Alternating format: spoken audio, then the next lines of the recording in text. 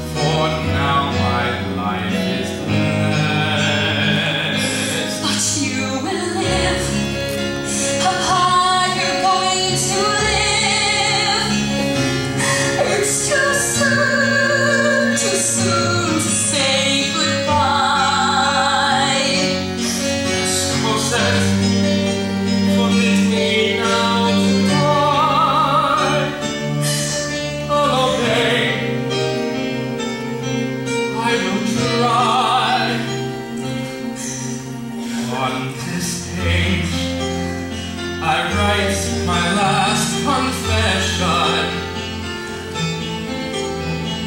sleeping.